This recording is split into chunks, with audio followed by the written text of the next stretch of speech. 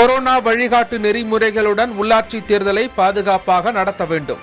தேர்தல் நடத்தும் அலுவலர்கள் காவல் கண்காணிப்பாளருக்கு தமிழக தேர்தல் ஆணையம் அறிவுரை.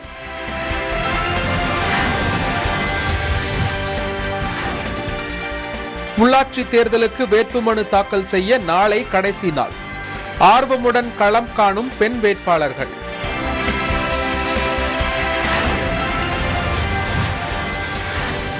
தமிழ் பரப்புரை கழகம் உருவாக்கம். ஒரு கோடி ரூபாய் நிதி ஒதுக்கீடு செய்து அரசாணை வெளியீடு.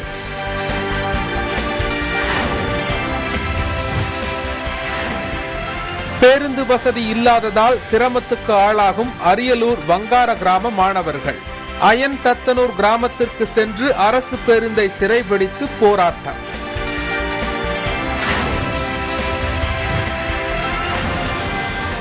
தேவை அதிகரிப்பால் முட்டை விலை உயர்வு. ஒரே நாளில் பத்து காசுகள் விலை உயர்ந்து நான்கு ரூபாய் எழுபது காசுகளாக விலை நிர்ணயம்.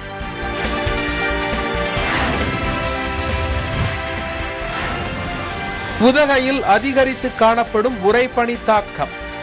தண்ணீர் உறைந்து போவதால் தாவரவியல் பூங்காவில் செடிகளுக்கு நீர் பாய்ச்சுவதில் சிக்கல்.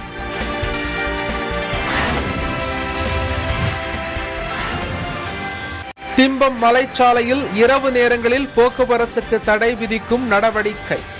வரும் பத்தாம் தேதி போராட்டம் நடத்தப் போவதாக மலைவாழ் மக்கள் அறிவிப்பு.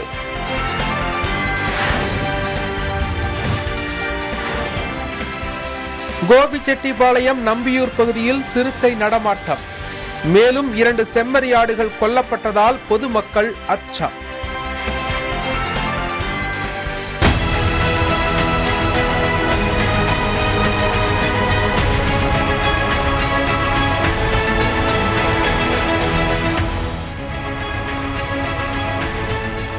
இந்தியாவில் கடந்த இருபத்தி நான்கு மணி நேரத்தில் ஒரு லட்சத்து எழுபத்தி இரண்டாயிரம் பேருக்கு கொரோனா தொற்று உறுதி செய்யப்பட்டுள்ளது.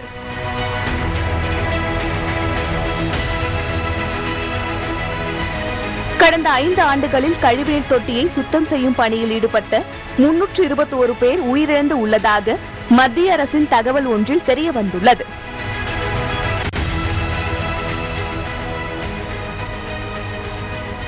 வாரணாசி ரோஹித் நகரில் நான்கு கோடி ரூபாய் மதிப்பிலான போலி கோவிஷீல்டு ஜெய்கோவ்டி தடுப்பூசிகள் பரிசோதனை கருவிகள் மற்றும் குப்பிகளை போலீசார் கைப்பற்றியுள்ளனர்.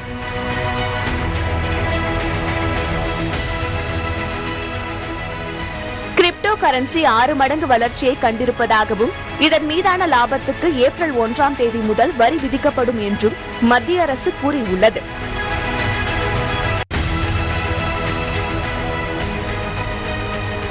டிஜிட்டல் பணத்தை ரூபாய் நோட்டுகளாக மாற்றலாம் என்று பிரதமர் மோடி தெரிவித்துள்ளார்.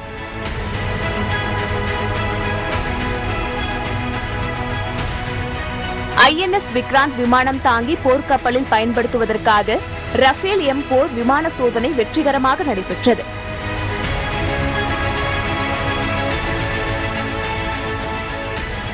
உலக அளவில் கொரோனா தொற்றால் பாதிக்கப்பட்டவர்களின் எண்ணிக்கை முப்பத்தி எட்டு கோடியே ஐம்பது லட்சமாக அதிகரித்துள்ளது.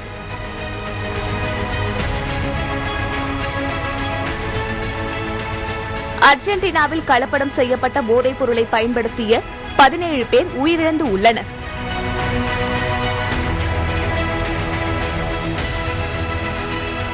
துபாயில் ஐந்து வயதுக்கு மேற்பட்ட குழந்தைகளுக்கான கொரோனா தடுப்பூசி முகாம் பலூன் அலங்காரங்கள் வேடிக்கையான அம்சங்களுடன் தொடங்கியது.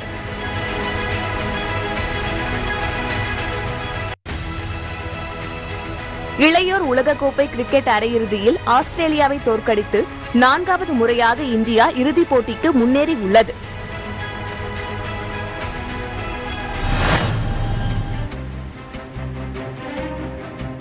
உதகையில் உறைபனியின் தாக்கம் அதிகரித்து காணப்படுவதால் பூங்காக்களில் பூச்செடிகள் புற்களுக்கு தண்ணீர் பாய்ச்சுவதில் சிரமம் ஏற்பட்டுள்ளது.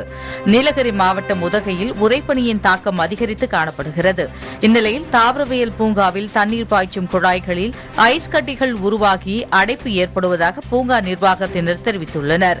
பூங்காவில் மலர் செடிகள் புல்வெளிகளுக்கு தண்ணீர் பாய்ச்சுவதற்காக சிறிய குழாய்கள் உள்ளன. அந்த குழாய்கள் மூலம் பணியாளர்கள் தண்ணீர் பாய்ச்சும் பொழுது பனியால் ஐஸ் கட்டிகள் குழாய் குழாய்களில் அடைப்புகளை ஏற்படுத்துகிறது. இதனால் வெயில் வந்த பிறகே இங்குள்ள புற்களுக்கும் பூச்செடிகளுக்கும் தண்ணீர் பாய்ச்சும் சூழல் ஏற்பட்டுள்ளது. மேலும் பூங்காவில் மே மாத கோடை சீசனுக்காக பூந்தொட்டிகள் தயார்படுத்தப்பட்டு வரும் நிலையில் அவற்றிலும் பனி விழுந்து வருவதால் வெயிலடிக்கும் வரை பணிகள் துவங்கப்படாமல் உள்ளதாக பூங்கா ஊழியர்கள் தெரிவித்துள்ளனா்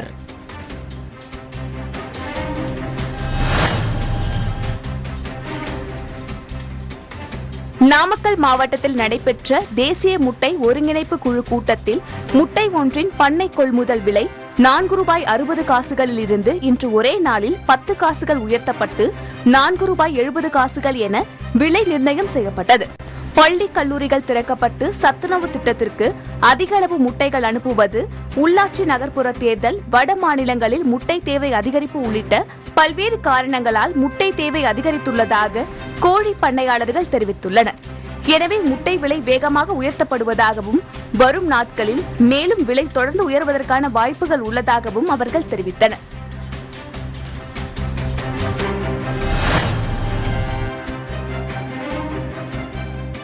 கோபிசெட்டிப்பாளையம் நம்பியூர் பகுதியில் மூன்று ஆடுகள் உயிரிழந்த நிலையில் சிசிடிவி காட்சிகள் மூலம் சிறுத்தை நடமாட்டம் உறுதி செய்யப்பட்டது. இந்நிலையில் மேலும் இரண்டு செம்மறி ஆடுகள் உயிரிழந்து உள்ளன இது பொதுமக்களிடையே அச்சத்தை ஏற்படுத்தியுள்ளது. ஈரோடு மாவட்டம் கோபிசெட்டிப்பாளையம் அருகே நம்பியூர் அடுத்த காந்திநகர் பகுதியில் கடந்த இரண்டு நாட்களுக்கு முன்பு பட்டியில் அடைத்து வைக்கப்பட்ட மூன்று ஆடுகளை சிறுத்தை அடித்துக் கொன்றது. இதுகுறித்து வனத்துறையினருக்கு தகவல் அளிக்கப்பட்ட நிலையில் விசாரணை மேற்கொள்ளப்பட்டது. அதில் கால் தடங்களை கொண்டு ஆடுகளை கொன்றது சிறுத்தை என்பதை உறுதி செய்யப்பட்டதைத் தொடர்ந்து பதிமூன்று இடங்களில் சிசிடிவி பொருத்தப்பட்டு தண்டோரா மூலம் மக்களுக்கு எச்சரிக்கை விடுக்கப்பட்டது. இந்த நிலையில் இன்று நம்பியூர் செட்டியம்பதி பகுதியில் மேலும் இரண்டு செம்மறி ஆடுகள் உயிரிழந்து உள்ளன இதனால் அந்த பகுதியில் உள்ள மக்கள் அச்சத்தில் ஆழ்ந்துள்ளனர். நம்ம தோட்டத்தில் ஒரு அஞ்சு ஆடு வளர்த்திட்டு இருக்கேங்க இன்னைக்கு காலையில் ஒரு அஞ்சு மணிக்கு வந்து பார்த்தேங்க. வந்து பார்க்கும்போது ரெண்டு ஒரு ஆடு வந்து கடித்து செத்து கிடந்துச்சுங்க. அப்புறம் ஒரு ஆஃபி ஃபாரஸ்ட் ரேஞ்சர் ஆஃபீஸர்கிட்ட சொன்னாங்க. வந்து பார்த்துட்டு இப்போ புலி சிறுத்தைன்னு சொல்லியிருக்கிறாங்க.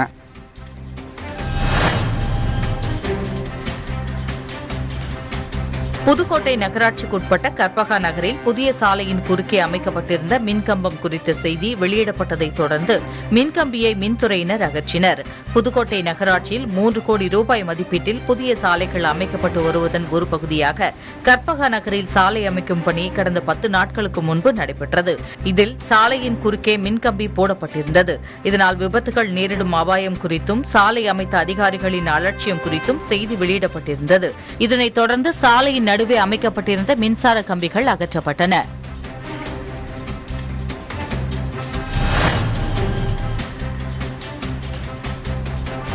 தமிழகம் கர்நாடகத்தை இணைக்கும் திம்பம் மலைப்பாதையில் இரவு போக்குவரத்தை தடை செய்யும் முயற்சிக்கு எதிர்ப்பு எழுந்துள்ளது. ஈரோடு மாவட்டம் சத்தியமங்கலம் திம்பம் மலைச்சாலையில் இரவு போக்குவரத்தை தடை செய்யும் வகையில் சென்னை உயர்நீதிமன்றத்தில் வழக்கு உள்ளது. இது தொடர்பாக மக்கள் கருத்துக்களை கேட்டு அறிக்கை தாக்கல் செய்யுமாறு பொதுப்பணித்துறை மற்றும் வனத்துறையினருக்கு உயர்நீதிமன்றம் உத்தரவு பிறப்பித்துள்ளது. இரவு நேர போக்குவரத்து தடைக்கு தாளவாடி ஆசனூர் பகுதியினர் கடும் எதிர்ப்பு தெரிவித்துள்ளனர். அந்த வகையில் வேறு நடவடிக்கைகளை மேற்கொள்வதன் மூலம் வாகனங்களின் வேகத்தையும் கட்டுப்படுத்த நடவடிக்கை எடுக்கலாம். மக்களின் இயல்பு வாழ்க்கை பாதிக்காத வகையில் ஒரு நிலை எடுத்து வனத்துறை மற்றும் மாவட்ட நிர்வாகத்திற்கு அறிவுறுத்த வேண்டும் என வலியுறுத்தி வரும் பிப்ரவரி பத்தாம் தேதி திம்பம் மலை உச்சியில் மக்கள் போராட்டம் நடத்த முடிவெடுத்துள்ளனர்.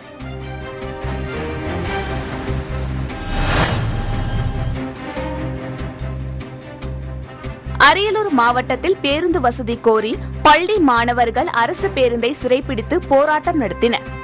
அரியலூர் மாவட்டம் செந்துறை அருகே உள்ள வங்காரம் கிராமத்தில் ஏராளமான பள்ளி மாணவர்கள் பொதுமக்கள் வெளியூர் செல்வதற்கு அரசு பேருந்தையே நம்பியுள்ளனர் இந்த நிலையில் சாலை வசதி சரியில்லாததை காரணம் காட்டி அரியலூரிலிருந்து திட்டக்குடி செல்லும் அரசு பேருந்துகள் வங்காரம் கிராமத்திற்கு வராமல் அயன்தட்டனூர் பகுதி வழியாக சென்றன. இதனால் அங்குள்ள பொதுமக்கள் மற்றும் மாணவர்கள் பெரிதும் பாதிக்கப்பட்டனர். இதனால் ஆத்திரமடைந்த பள்ளி மற்றும் கல்லூரி மாணவர்கள் அயன்தட்டனூர் சென்று அங்கு வந்த அரசு பேருந்தை சிறைப்பிடித்து போராட்டம் நடத்தினர்.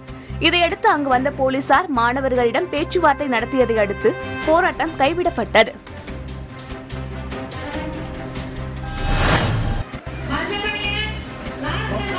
தருமபுரி பகுதியில் நடைபெற்ற ஜல்லிக்கட்டு போட்டியில் கூடுதல் காளைகளை அடக்கிய சிறந்த வீரர்களுக்கு பரிசுகள் வழங்கப்பட்டன. தருமபுரி அடுத்த தடங்கம் மைதானத்தில் நடத்தப்பட்ட ஜல்லிக்கட்டு போட்டியில் எழுநூறு காளைகள் மற்றும் முன்னூறு மாடுபிடி வீரர்கள் கலந்து கொண்டனர். எட்டு சுற்றுகள் நடைபெற்ற இப்போட்டியில் மதுரை அவனியாபுரம் கார்த்தி மதுரை ஜெகதீசன் மற்றும் திண்டுக்கல் கார்த்தி ஆகிய மூன்று பேரும் தலா பதினெட்டு காளைகளை அடக்கியதை அடுத்து முதல் பரிசான இருசக்கர வாகனம் மற்றும் ஒரு லட்சம் ரூபாய் ரொக்கப்பணத்தை மூவருக்கும் சரிசமமாக பிரித்து வழங்கப்பட்டன. அதேபோல் மாடுபிடி வீரர்களிடம் சிக்காமல் போக்கு காட்டிய சேலம் காளையின் உரிமையாளருக்கும் முதல் பரிசு வழங்கப்பட்டது.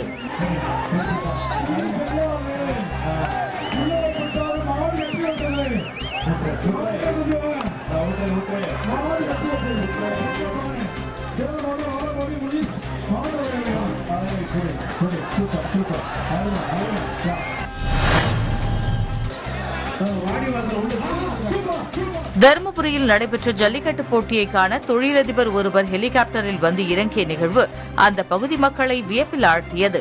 தமிழர்களின் வீரத்தை பறைசாற்றும் பாரம்பரிய விளையாட்டான ஜல்லிக்கட்டு போட்டி தருமபுரியை அடுத்த தடங்கம் மைதானத்தில் இரண்டாவது ஆண்டாக நடைபெற்றது. இதில் அறுநூறு காளைகளும் முன்னூறு மாடுபிடி வீரர்களும் கலந்து கொண்டு சிறப்பாக விளையாடி சிறந்த காளைகளும் காளையர்களுக்கும் பரிசுகளை பெற்றுச் சென்றனர்.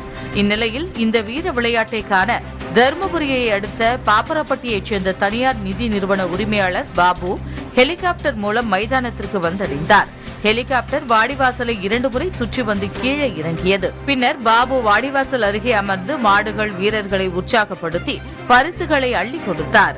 தொழிலதிபர் ஹெலிகாப்டரில் வந்து இறங்கியது மக்களிடையே ஆச்சரியத்தை ஏற்படுத்திய நிலையில் ஹெலிகாப்டர் முன்பு நின்று புகைப்படம் எடுத்து மக்கள் மகிழ்ந்தனர்.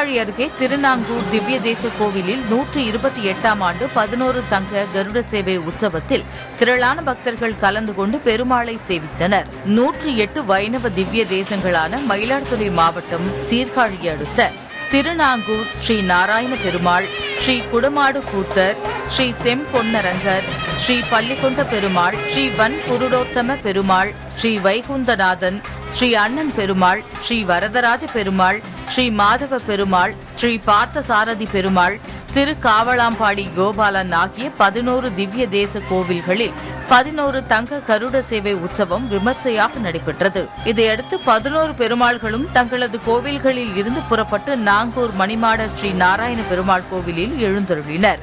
அவர்களை திருமங்கையாழ்வார் வரவேற்கும் எதிர் சேவை நிகழ்ச்சியும் நடைபெற்றது. பின்னர் பெருமாள்களுக்கு சிறப்பு திருமஞ்சனம் நடைபெற்றதை அடுத்து பதினோரு பெருமாள்களும் வராக தங்க கருட வாகனத்தில் எழுந்தருள திருமங்கையாழ்வாரின் மங்களாசாசனம் செய்யும் நிகழ்வு நடைபெற்றது. தொடர்ந்து கும்ப தீப ஆரத்தி எடுக்கப்பட்டு தங்க கருட சேவை உற்சவம் நடைபெற்றது. தொடர்ந்து பதினோரு பெருமாள்களும் தங்க கருட வாகனத்தில் வீதியுலா வரும் காட்சிகள் அரங்கேறியது. இதில் ஆயிரக்கணக்கான பக்தர்கள் கலந்து கொண்டு பெருமாளை சேவித்தனர்.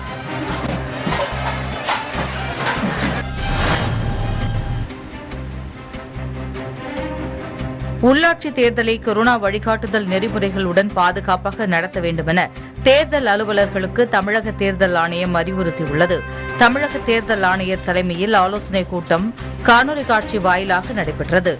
ஆலோசனைக் கூட்டத்தில் மாவட்ட தேர்தல் அலுவலர்கள் மாவட்ட காவல் கண்காணிப்பாளர்கள் கலந்து கொண்டனர். இதில் சட்டமன்ற வாக்காளர்கள் அடிப்படையில் நகர்ப்புற உள்ளாட்சி தேர்தலுக்கான துணை வாக்காளர் பட்டியல் தயார் செய்யப்பட்ட விவரம் வாக்குச்சாவடி அலுவலர்களுக்கு பயிற்சி நடத்தப்பட்ட போது வருகை தராத அலுவலர்களின் சதவீதம் உள்ளிட்டவைகள் குறித்து விவாதிக்கப்பட்டது. மேலும் பறக்கும் படையால் பணம் பொருட்கள் கைப்பற்றப்பட்ட விவரம் வழக்கு தொடரப்பட்ட விவரம் தேர்தலுக்கு தேவையான பொருட்கள் கொள்முதல் செய்யப்பட்ட விவரம் குறித்தும் கேட்டறியப்பட்டுள்ளது.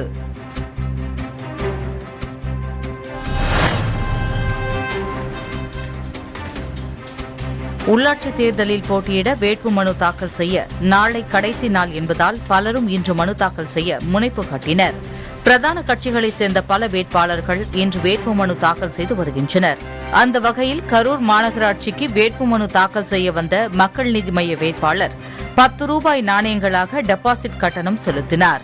இதேபோல புதுக்கோட்டை மாவட்டத்தில் பிரதான அரசியல் கட்சிகளின் கூட்டணி பேச்சுவார்த்தை தொன்னூத்தி ஒன்பது சதவீதம் நிறைவடைந்துள்ளன.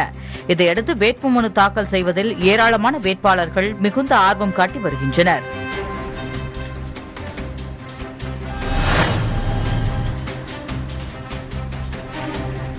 வரும் உள்ளாட்சி நகர்ப்புற தேர்தலை முன்னிட்டு தமிழகம் முழுவதும் பல்வேறு கட்சிகளின் சார்பில் கல்லூரி மாணவியர் பலர் வேட்பாளராக களமிறக்கப்பட்டு உள்ளனர் அந்த வகையில் சேலம் மாவட்டம் கண்ணங்குறிச்சி பேரூராட்சிக்கு உட்பட்ட ஐந்தாவது வார்டில் இருபத்தி இரண்டு வயது கல்லூரி மாணவி ரதியா என்பவர் போட்டியிடுகிறார். தொடர்ந்து தனது வார்டுக்கு உட்பட்ட பகுதிகளில் வீடு வீடாக சென்று தீவிர வாக்கு சேகரிப்பில் ஈடுபட்டு வருகிறார். இளைய தலைமுறைகள் வந்தால் இது கண்டிப்பாக இந்த அரசியல் வந்து கண்டிப்பாக மாறும். இந்த மக்களுக்கு வந்து ஏதாவது செய்யணும் அப்படின்றது வந்து கண்டிப்பாக நல்லதாகவே நடக்கும். என்ன மாதிரி இன்னும் நிறைய ஸ்டூடெண்ட்ஸ் வெளியில் வரணும்னு நினைக்கிறாங்க அவங்களையும் வெளியில் கொண்டு வரணுன்றதுக்காக நான் ஒரு மோட்டிவே மோட்டிவேஷனாகவே நான் வந்திருக்கேன் ஃபர்ஸ்ட் வெளியில். என்னை பார்த்து அவங்களும் வரணும் அப்படின்றது என்னோட ஆசை. தமிழ் பரப்புரை கழகம் உருவாக்கப்படுவதை ஒட்டி ஒரு கோடி ரூபாய் நிதி ஒதுக்கீடு செய்து தமிழக அரசு அரசாணை வெளியிட்டுள்ளது. தமிழ் பரப்புரை கழகம் மூலம் தமிழ் மொழியின் பண்பாடு மற்றும் கலாச்சார பரப்புரை பணிகள் ஒலி ஒளி உச்சரிப்புடன் பாட புத்தகத்தை வடிவமைத்தல் தமிழ் கற்பிப்பதற்கான வசதிகள் ஏற்படுத்துதல் இணையத்தில் தமிழ் ஆசிரியர்கள் மூலம் கற்றுத்தருதல் தமிழை வெளிநாடு மற்றும் வெளி மாநிலங்களுக்கு கற்பிக்கும் அமைப்புகளுக்கு நிதி உதவி வழங்குதல் ஆகிய பணிகள் மேற்கொள்ளப்பட உள்ளன. இதற்காக ஒரு கோடி ரூபாய் நிதி ஒதுக்கீடு செய்து தமிழக அரசு அரசாணை பிறப்பித்துள்ளது.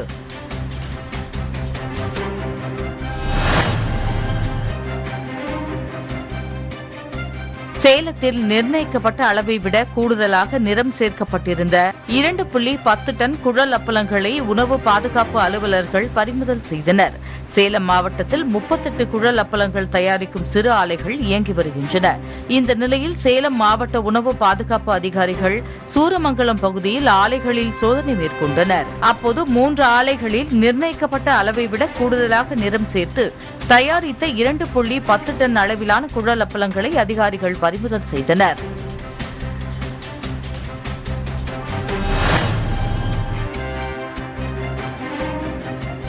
ரயில்களில் பாதுகாப்பாக பயணிப்பது குறித்து தஞ்சை ரயில் நிலையத்தில் பயணிகளுக்கு போலீசார் விழிப்புணர்வு ஏற்படுத்தினர். பயணிகள் ரயில் படிக்கட்டுகளில் அமர்ந்து பயணம் செய்யக்கூடாது. ரயிலில் அபாயகரமான பொருட்கள் பட்டாசுகள் மற்றும் எளிதில் தீப்பற்றிக் கொள்ளும் பொருட்களை கொண்டு செல்லக்கூடாது. பெண்கள் மற்றும் குழந்தைகளுக்கு ஏதேனும் இடையூறு ஏற்பட்டால் ஒன்று எட்டு இரண்டு என்ற எண்ணை அழைக்க வேண்டும் என்பன உள்ளிட்ட அறிவுரைகளை வழங்கின.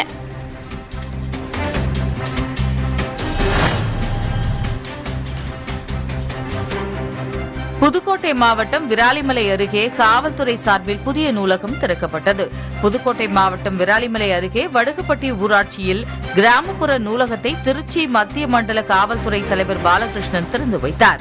தொடர்ந்து பேசிய அவர் மத்திய மண்டலம் முழுவதும் இதேபோல் நூலகங்கள் திறக்க திட்டமிடப்பட்டுள்ளதாக தெரிவித்த அவர் வாசிக்கும் திறன் அதிகமானதால் பல்வேறு பிரச்சினைகளுக்கு தீர்வுகள் காண்பது எளிதாகும் எண்ணங்கள் சிந்தனைகள் மேம்படும். எனவே அனைவரும் வாசிப்போம் வளர்வோம் வாழ்க்கையில் வளம் காண்போம் என்று அவர் தெரிவித்தார்.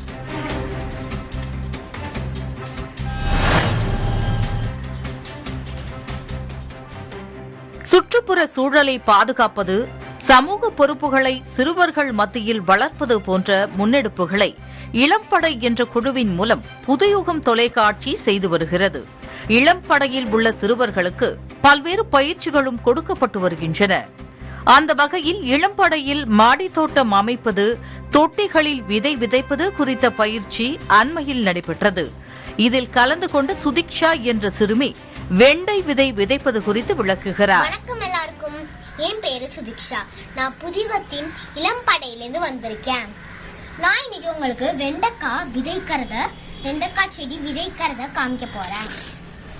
பாருங்க இதுதான் தொட்டி. ஓட்டை போட்டுக்கிறேன். ஓட்டை போட்டுட்டு ஓட்டை போட்டுட்டு இந்த ஓட்டையில விதை போட்டுக்கிறேன். வெண்டைக்காய் விதை. வெண்டைக்காய் செடியோட விதை. இங்கே ஒன்று அடுத்தது இங்கே ஒன்று போட்டுக்கிறேன். போட்டுட்டு போட்டுட்டு எங்கள் வீட்டிலே எங்கள் வீட்டிலேயே எங்கள் பாட்டி வந்து எங்களுக்கு உரம் செஞ்சாங்க. அந்த உரத்தை இது மேலே கொஞ்சோண்டு போட்டுக்கிறேன். அந்த உரத்தை மேலே போட்டுட்டு நல்லா அந்த மே அந்த உரத்தை மேலே போட்டுட்டேன். போட்டுட்டோன்னே நம்ம கொஞ்சோண்டு தண்ணி ஊற்றிக்கலாம் கொஞ்சோண்டு தண்ணி ஊற்றிட்டோம் அவ்வளோதாங்க நான் இன்னைக்கு உங்களுக்கு அழகா வெண்டைக்காய் விதை விதைக்கிறத உங்களுக்கு காமிச்சிட்டேன். நன்றி. நெல்லை மாவட்டம் பணக்குடி அருகே பரிவிரி சூரியன் கிராமத்தில் உள்ள குளத்தில் பொதுமக்கள் குளித்துக் கொண்டிருக்கும் போது ஒரு வெள்ளி சிலையை கண்டெடுத்தனர். அந்த சிலை ஒரு அடி உயரம் இருபது கிலோ வெள்ளியினால் செய்யப்பட்ட லட்சுமி சிலை என தெரியவந்தது. அது ராதாபுரம் கருவூலத்தில் ஒப்படைக்கப்பட்ட நிலையில் இது தொடர்பாக சிலை கடத்தல் பிரிவு போலீசார் விசாரணை மேற்கொண்டுள்ளனர்.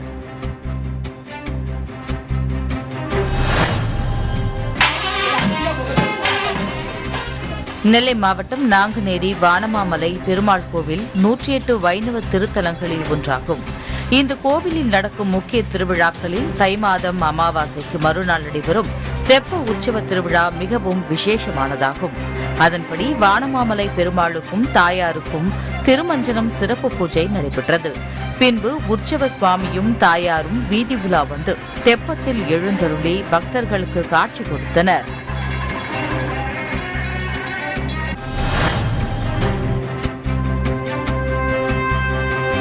மாவட்டத்தில் அரசு நிலத்தை தனியாருக்கு சட்டவிரோதமாக மாற்றம் செய்ததாக அரசு நில அளவையாளர் உள்பட மூன்று பேரை காவல்துறையினர் கைது செய்தனர்.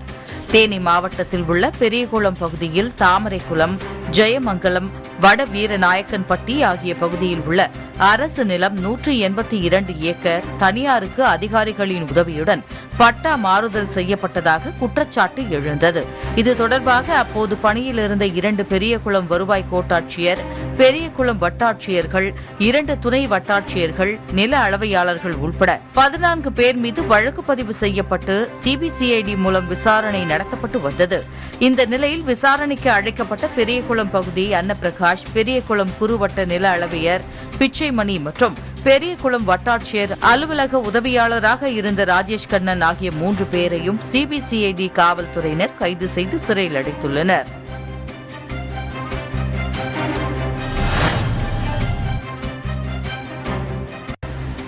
சென்னை மாநில தேர்தல் ஆணையத்தில் பணிபுரியும் பெண்ணிடம் கொரோனா தடுப்பு அதிகாரிகள் போல் நடித்து பத்து சவரன் தங்க நகை பறித்துச் சென்ற சம்பவம் நடந்துள்ளது.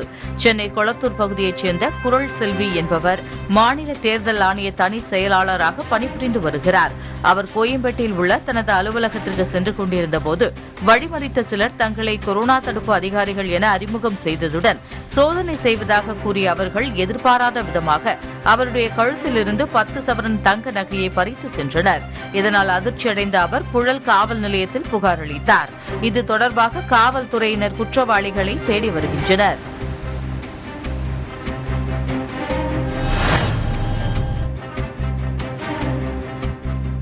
கடலூர் மாவட்டம் பெண்ணாடம் அருகே வைக்கோல் ஏற்றி வந்த டிராக்டரில் மின்கம்பி உரசி தீப்பிடித்ததில் அதிலிருந்த வைக்கோல்கள் சேதமாகின. கடலூர் மாவட்டம் பெண்ணாடத்தைச் சேர்ந்த பாக்கியராஜ் என்பவர் தமது டிராக்டரில் திருமலை அகரத்திலிருந்து ஆவினக்குடிக்கு வைக்கோல் கட்டுகளை ஏற்றிக் கொண்டு சென்றார். அப்போது பெண்ணாடம் அருகே சாலையில் இருந்த டிரான்ஸ்பார்மரில் உள்ள மின் கம்பத்தில் வைக்கோல் கட்டு எதிர்பாராத விதமாக உரசியது. இதில் டிராக்டரில் இருந்த வைக்கோல் அனைத்தும் தீப்பற்றி எரிந்ததால் சுமார் எண்பதாயிரம் ரூபாய் மதிப்புள்ள வைக்கோல்கள் எரிந்து சேதமானது.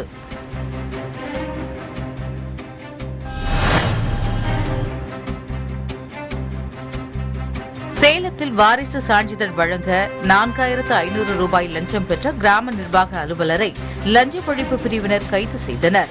சேலம் அழகாபுரம் கிராம நிர்வாக அலுவலகத்தில் வாரிசு சான்றிதழ் வழங்குமாறு விண்ணப்பித்தவரிடம் கிராம நிர்வாக அதிகாரியான குமரேசன் என்பவர் நான்காயிரத்து ஐநூறு ரூபாய் வரை லஞ்சம் கேட்டதாக கூறப்படுகிறது. இதுகுறித்த புகாரின் பேரில் வழக்கு பதிவு செய்து கிராம நிர்வாக அதிகாரி குமரேசனை கண்காணித்தனர். அப்போது கிராம நிர்வாக அலுவலர் குமரேசன் புகார் அளித்த நபரிடமிருந்து நான்காயிரத்து ஐநூறு ரூபாயை கையூட்டாக பெற்றபோது ஊழல் தடுப்பு மற்றும் கண்காணிப்பு துறையினர் மடக்கி பிடித்து கைது செய்தனர்.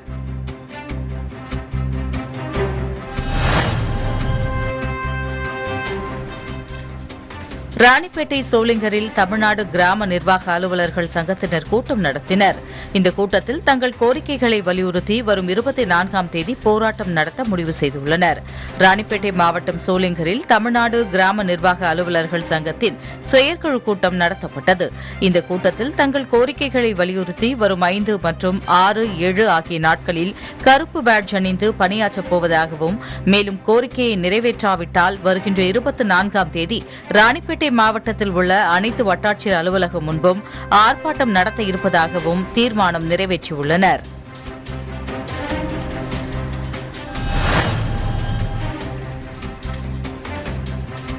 கிருஷ்ணகிரி வட்டாட்சியர் அலுவலக வளாகத்தில் பறிமுதல் செய்யப்பட்ட கிரானைட் கற்களுடன் வாகனங்கள் நிறுத்தி வைக்கப்பட்டுள்ளன.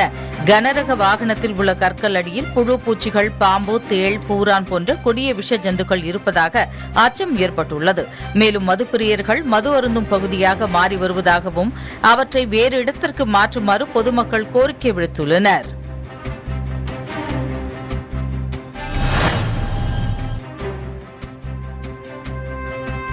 திருவண்ணாமலை மாவட்டம் ஆரணி டவுன் புதிய பேருந்து நிலையத்தில் அரசு பேருந்தில் ஏற முயன்ற சந்திரா என்பவரிடம் கூட்ட நெரிசலை பயன்படுத்தி ஐந்தாயிரம் ரொக்கப்பணம் மற்றும் செல்போனை யாரோ ஒருவர் திருடியுள்ளார்.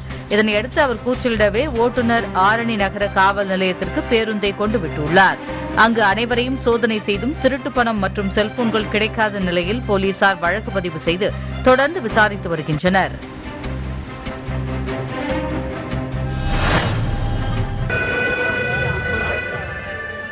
குளச்சல் புனித காணிக்கை அன்னை திருத்தல தேர் பவனி நிகழ்ச்சியில் திரளான பக்தர்கள் பங்கேற்று சிறப்பித்தனர். கன்னியாகுமரி மாவட்டத்தில் அமைந்துள்ள நானூற்றி ஐம்பது ஆண்டுகள் பழமையான புனித காணிக்கை அன்னை ஆலய திருவிழா கடந்த முப்பத்தி ஓராம் தேதி தொடங்கி நடைபெற்று வருகிறது. இந்நிலையில் விழாவின் முக்கிய நிகழ்வான தேர் பவனி சிறப்பாக நடைபெற்றது. இதில் திரளான பக்தர்கள் கலந்து கொண்டு விழாவை சிறப்பித்தனர். தேர் சுமார் மூன்று கிலோமீட்டர் தூரம் ஊர்வலமாக சென்று புனித காணிக்கை அன்னை ஆலயத்தை சென்றடைந்தது.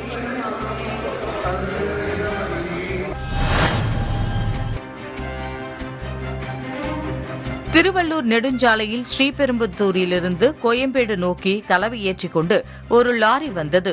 அந்த லாரி ஓட்டி வந்த ஓட்டுநருக்கு வலிப்பு வந்த நிலையில் வாகனம் கட்டுப்பாட்டை இழந்து சிக்னலில் நின்று கொண்டிருந்த கார் வேன் லோடு ஆட்டோ இரண்டு மோட்டார் சைக்கிள்கள் சேதமடைந்தன. இது தொடர்பாக போலீசார் விசாரித்து வருகின்றனர்.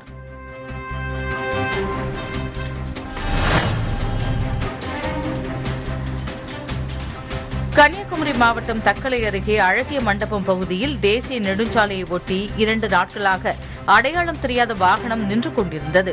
இதையடுத்து தகவல் அறிந்து சம்பவ இடத்திற்கு வந்த காவல்துறையினர் வாகனத்தை கைப்பற்றி விசாரணை மேற்கொண்டு வருகின்றனர். அடையாளம் தெரியாத வாகனத்தால் அந்த பகுதியில் பரபரப்பு ஏற்பட்டது.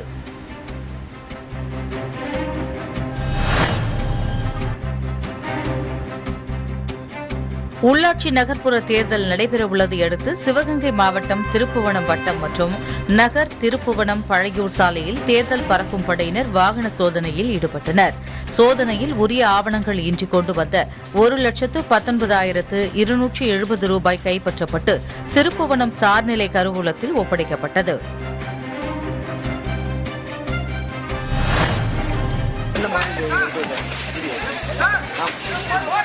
தேனி மாவட்டம் ஆண்டிப்பட்டி அருகே தனியார் பேருந்து மோதியதில் இருசக்கர வாகனத்தில் சென்ற ஒருவர் உயிரிழந்தார்.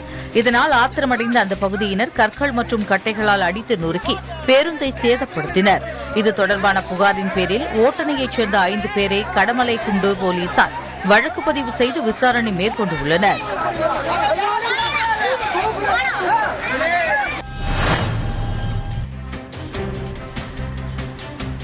விருதுநகர் மாவட்டம் சிவகாசியில் தேர்தல் பறக்கும் படை அதிகாரிகள் வாகன சோதனையில் ஈடுபட்டனர். அப்போது செந்தில்குமார் என்பவர் இருசக்கர வாகனத்தில் இரண்டு லட்சம் ரூபாய் பணம் கொண்டு சென்றது தெரியவந்தது. அவரிடம் அதற்கான உரிய ஆவணங்கள் இல்லாத நிலையில் அதனை அதிகாரிகள் பறிமுதல் செய்தனர்.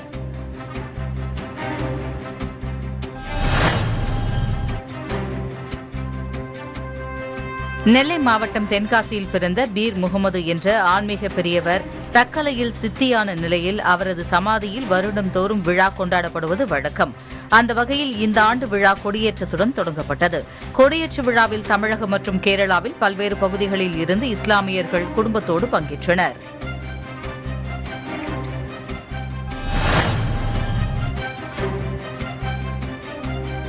காஞ்சிபுரம் மாவட்டம் கீழம்பி பகுதியில் ஆந்திராவிலிருந்து வந்த காரை போதைப்பொருள் கடத்தல் தடுப்பு பிரிவினர் சோதனையிட்டதில் இருபத்தி இரண்டு கிலோ கஞ்சா கடத்தி வரப்பட்டது தெரியவந்தது. கஞ்சாவை பறிமுதல் செய்த போலீசார் கடத்தலில் ஈடுபட்ட இருவரை கைது செய்தனர். கடத்தலுக்கு பயன்படுத்திய காரையும் போலீசார் பறிமுதல் செய்துள்ளனர்.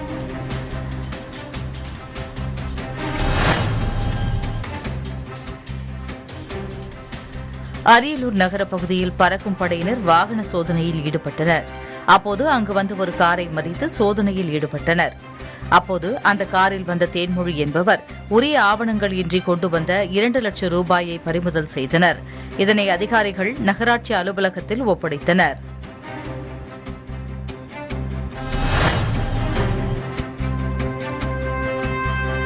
நிலக்கோட்டை அடுத்துள்ள செங்கோட்டை கிராமத்தைச் சேர்ந்த பாப்பா என்ற பெண் அந்த பகுதியில் உள்ள ஒரு கிணற்றில் தவறி விழுந்தார். அவரது அலறல் குரல் கேட்டு வந்த அக்கம் பக்கத்தினர் உடனடியாக தீயணைப்புத் துறையினருக்கு தகவல் கொடுத்தனர். இதையடுத்து அங்கு வந்த தீயணைப்புத் துறையினர் உயிருக்கு போராடிக் கொண்டிருந்த அந்த பெண்ணை பத்திரமாக மீட்டனர்.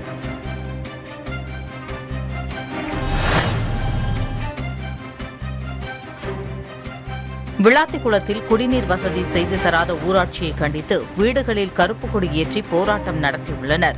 தூத்துக்குடி மாவட்ட விளாத்திக்குளம் அருகே கமலாபுரம் பகுதியில் ஊராட்சி நிர்வாகம் தரப்பில் மின் வசதி குடிநீர் வசதி போன்ற எந்தவித அடிப்படை வசதிகளையும் செய்யவில்லை என புகார் எழுந்துள்ளது.